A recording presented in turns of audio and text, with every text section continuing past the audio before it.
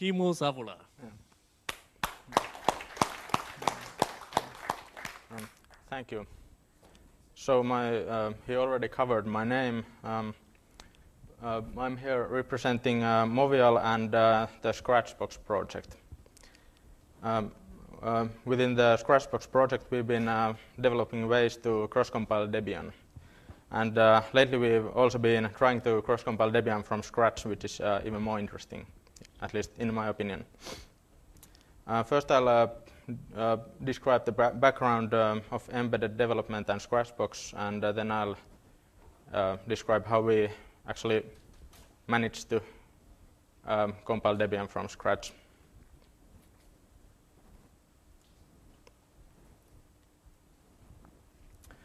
Uh, many of you probably already know this stuff, at least after you uh, listened to Wookey's uh, presentation.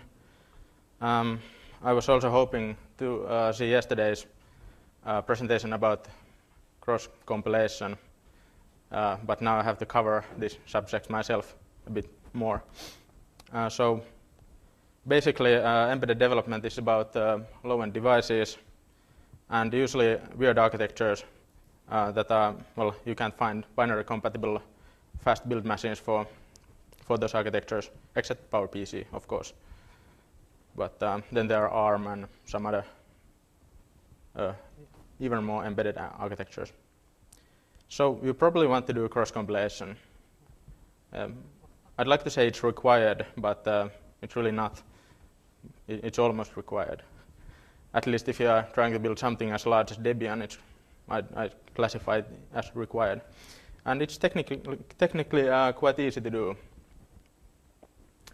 Um, basically, cross-compiling uh, uh, source, co source uh, code file is quite well understood. You just use a compiler. But uh, if you want to build software, it gets uh, more tricky because you have to deal with these weird packaging building systems um, packaging isn't so hard, but uh, it might also get a bit tricky. But the key thing is configuring, uh, and the keyword is configure. Uh, and they're quite painful to work with.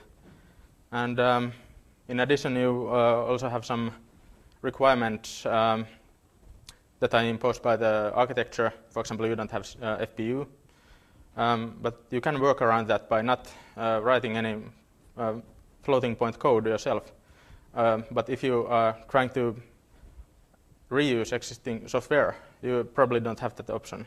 And you want to probably um, get rid of the runtime emulation of floating point code by using a softfloat toolchain. Uh, so if you missed Wookey's presentation, check it out. It's interesting also.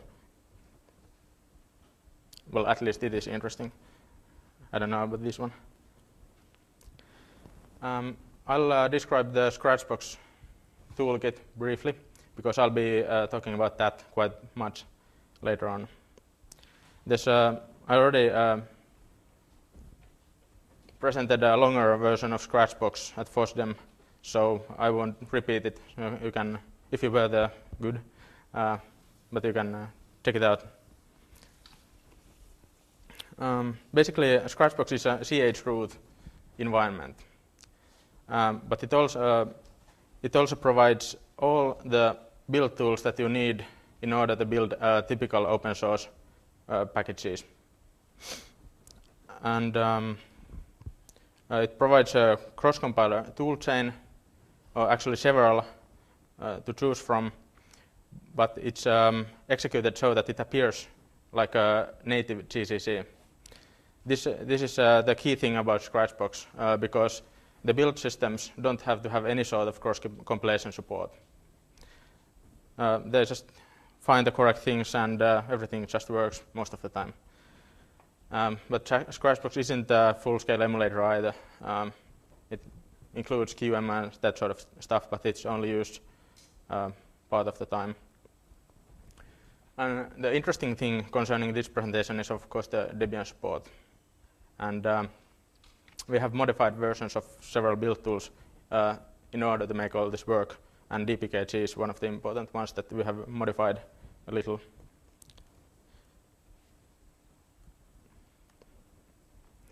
Here's a bit, bit, of history of our work. When we first added Debian support in Scratchbox 0.9.7, we also had to figure out a way to do Debian development in it and how to build Debian for ARM in it.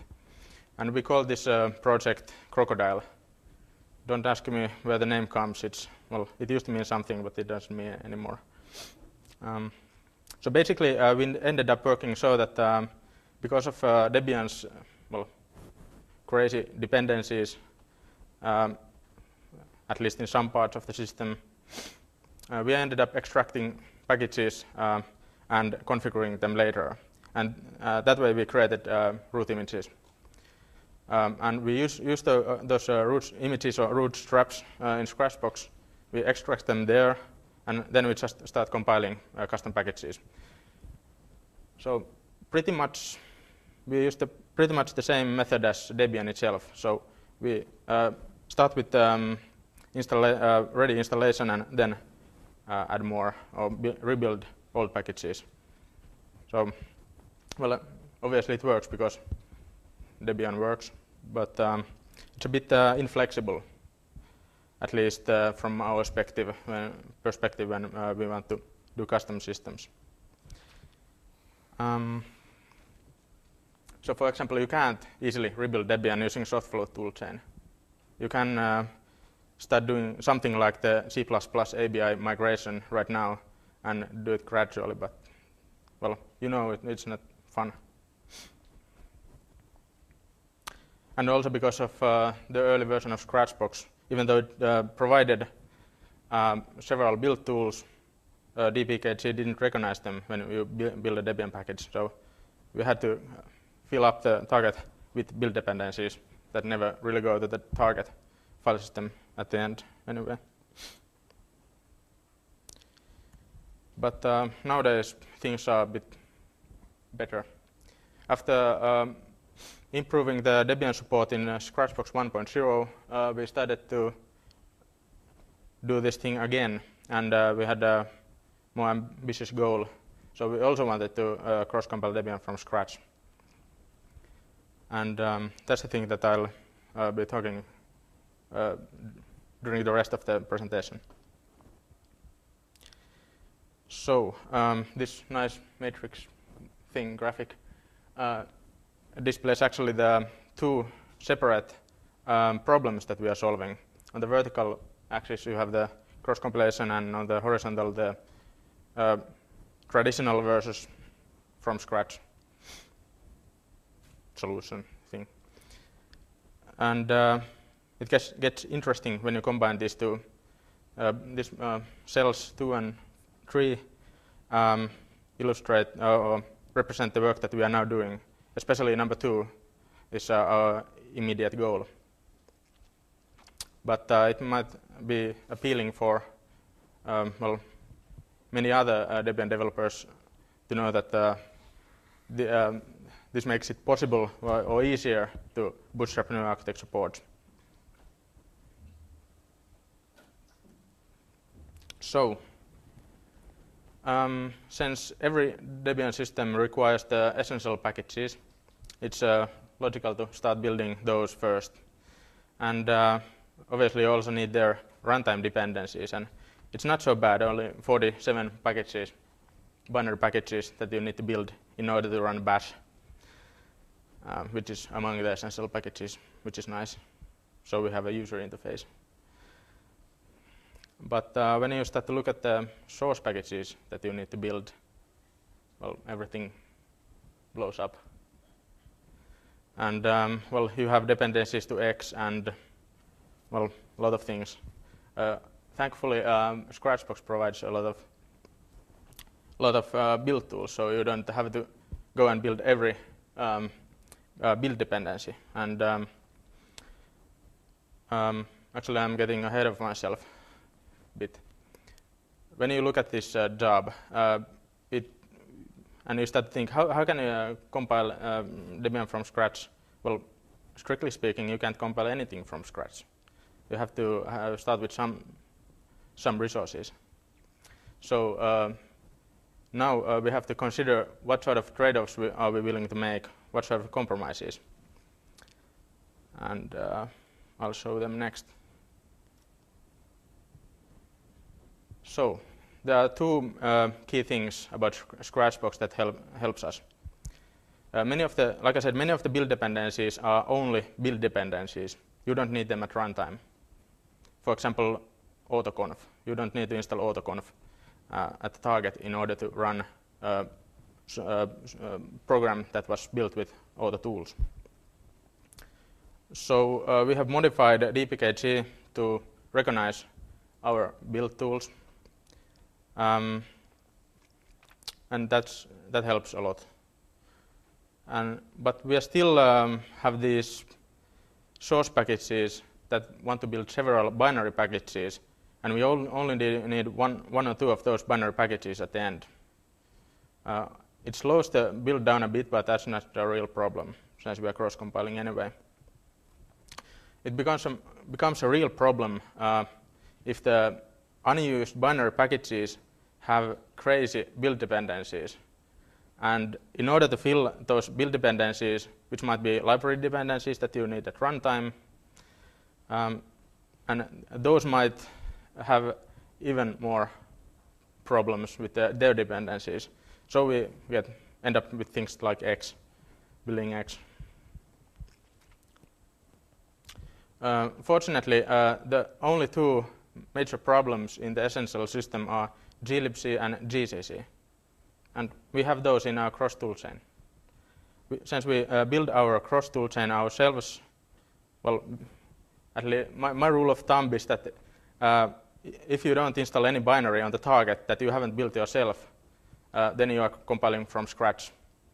And uh, we are uh, using our own cross toolchain, so it includes uh, target, target binaries that we need, and let's use those this is the part where we um, well stray from the Debian build system, but uh, I think it's ju justified because these are fundamental um, uh, libraries. Many embedded people probably want to use custom versions of those anyway, so it's convenient. And we uh, built them with Debian patches. And we use the original upstream uh, Debian control files to generate, uh, generate our packages, so they are compatible. So uh, these two key things brings us down to only 100 source uh, packages. So from 200 ab approximately, that's an approximation because it's hard to calculate the real amount due to all these recursive dependencies. Well, maybe it is, but I, I was tired when I generated these numbers. Uh, so we don't have any circular dependencies left anymore. And uh, actually, uh, on Friday, we finally managed to build this essential Debian system for ARM architecture from scratch. And uh, there's a temporary page where you can uh, get those, and uh, but it's uh, still very much work in progress. and you also need a pre-release Scratchbox to build that, and even that needs some sort of tweaking, but I should. I hope that I can release a new stable Scratchbox in, in near future. So these are the. This is the fine print. so we couldn't build the uh, vanilla Debian system. Uh, there were some issues. Um, the, well, I don't know which one of these is the major issue, but uh, uh, at least several packages failed their unit tests. And uh, I'd like to think that it's because uh, they assume that the essential system is there. And in some cases, that, that is actually the case. After we have built this uh, system from scratch and installed it, then we can uh, complete their tests successfully. But uh, some packages fail their tests because the Scratchbox environment is a bit peculiar. It's, well, just doesn't work perfectly. Uh, but that can be counted as a bug in Scratchbox, or those things that um, make this test fail. And um, well, Perl is our long-term um, favorite. It always has some something. And but this time there were only two one-line uh, changes otherwise that uh, Perl uh, wants to see if USRB in Perl exists before it builds itself. And uh, it obviously doesn't exist since we are uh, building on an empty file system. Um, but that uh, disabling that, that, check doesn't make the build fail because Scratchbox provides Perl in a non-standard location. And finally, well, this is my favorite nowadays. libdb wants to build its Java bindings. And uh, well, I have tried building that by adding um, hacking all this Java support into Scratchbox, but I didn't want to commit it uh, yet. Maybe we'll get around to supporting Java in Scratchbox eventually, but uh, just a depressing, depressing problem to fix anyway. So I'll just ignore that Java binding building for now. Okay. This is my message. Uh, this is the new Debian policy. Um, well, uh, the Debian policy has so far ignored the embedded world uh, mostly or completely. But um, um, there are some things that uh, can benefit everyone. For example, uh, making uh, Debian build buildable from scratch. Uh, well, it could theoreti theoretically help in the C++ API transition. Um, and also porting the new architectures and maybe also in testing uh, build um, dependencies. So you can start with a minimum system and try to install all dependencies of package and see if, it, if they're correct and that sort of thing. And uh, then there are small inconveniences for the maintainers. For example, if every package supported uh, uh, this no check option, uh, it would be maybe two lines of additional, uh, two additional lines to the rules file, but it would make my life uh, easier, and maybe a lot of the embed, uh, embedded guys would like that. I mean, maybe this no doc is not, not just such a good idea because there's this, uh, well, Riku argued that uh, nodoc is useless because there's this build indep and binary indep, but um, well, he's probably right. And these uh, two last bullets are a bit more speculative. Um, it would be nice if the source packages of packages that build uh, essential packages wouldn't build Java bindings. I'd really like that. And uh, you would think that it's not too much to ask. Maybe it isn't, I don't know. Um, and this last one is, uh, I first thought it was a good idea when I was brainstorming, but uh,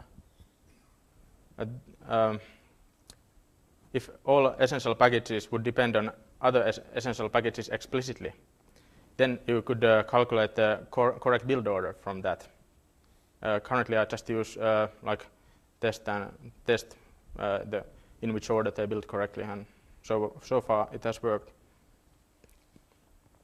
But that would also mean that uh, the dependencies of essential packages that are not essential themselves would also have to explicitly declare their dependencies to essential packages, which gets out of hand.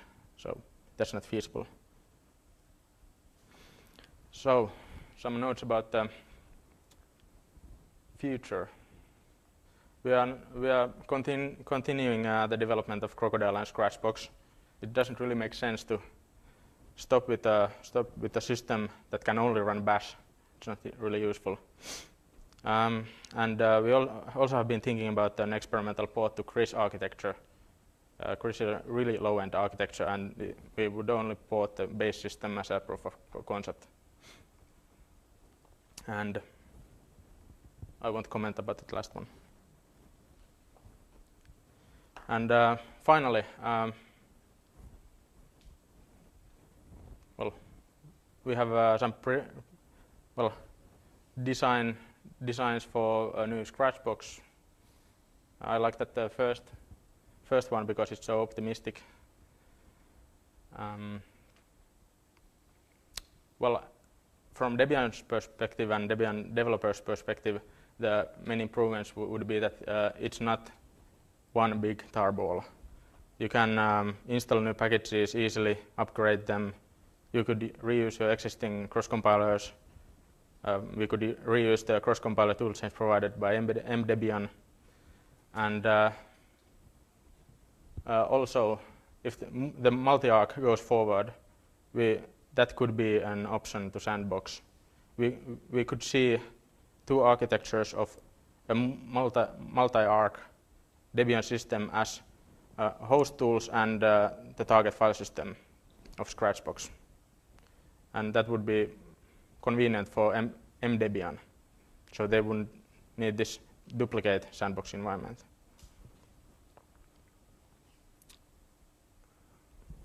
Uh, I hope that we can uh, publish some longer design document about Scratchbox at some point in future. So you can ask questions now, or if you are shy, you can join us on our IRC channel.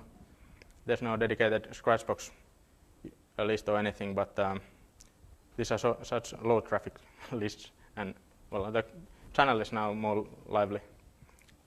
Yes. Um, one one point uh, about your um, goal to be able to exclude documentation. The problem is that when you're generating a normal deb, you're actually supposed to include uh, documentation. Yes. So basically, uh, di we've discussed this issue a bit with Carlos from Nokia's OSS depart OSSO department, and what seems to be the most probable solution is a better framework to automatically generate microdebs, uh, which basically would give you what you need for the embedded side of, of Debian. Mm. Since microdebs, by definition, don't include templates of any sort, don't include documentation, mm. basically mm. just the binaries and the absolute minimum you need to operate and install a given packages. So basically a framework to generate that would be your solution, I think, so that you don't end up infringing the policy as well. So you are talking about UDEB, UDEBs? Yes. Yes. Well, that is probably much easier way of compiling from scratch, but um, this uh, we are attempting to build a real Debian and uh, the rationale about disabling uh, generation of documents is that uh, if you are building an embedded system, you probably don't need them at any point. But if you are compiling from scratch, you can go back and build them when you have the dependencies. Well, well, I think the difference here between why UDEBs don't help is that UDEBs are created using the same Debian rules, and they say all the Debian rules creates documents anyway, and we want to avoid creating documents because the documentation generation tools are the ones that usually pull the most evil build dependencies, which are not interesting for cross-compiling. Yeah, that is a good point because we are, uh, uh, we are not so much interested what gets into the package. We are interested what goes on before we make the package.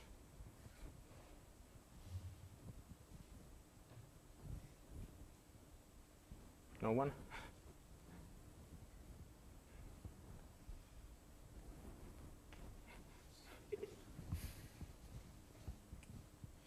I guess one possible solution in this case, to return to this question, is that if there would be a way to either have an extra Debian, uh, deb helper or some other mechanism to strip documentation without having to have a separate binary target to generate, or maybe some uh, environmental uh, variable to, to, uh, to pass to a DPKG build package.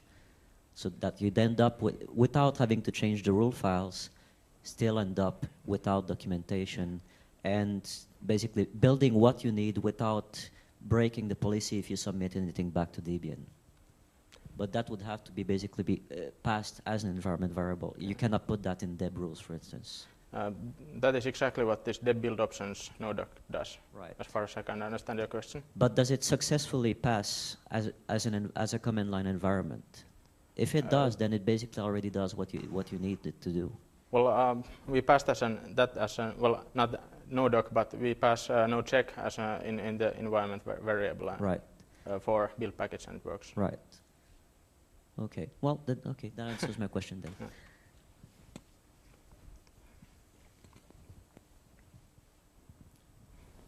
some packages um, check whether uh, it's cross-compiling or not, and then run, do not run the checks automatically.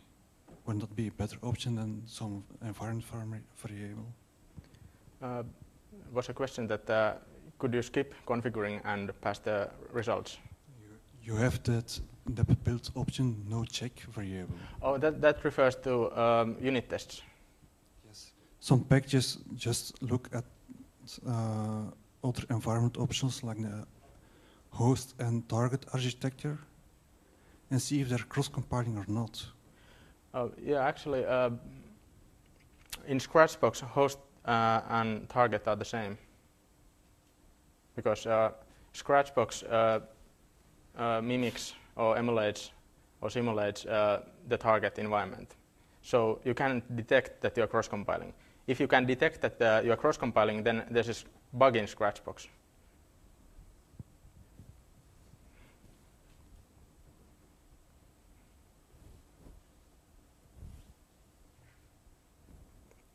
Maybe that's it then. Well, oh, calm down.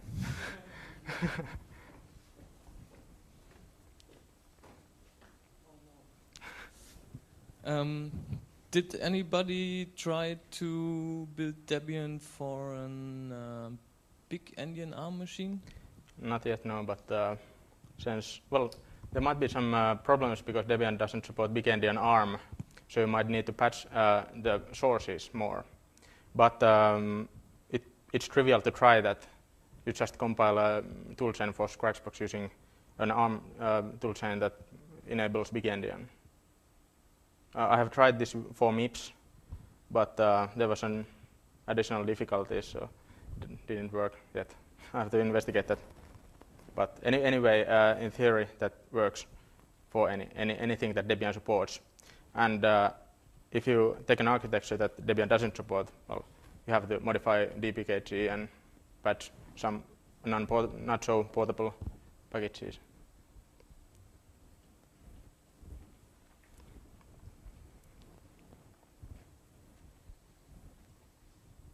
No questions left?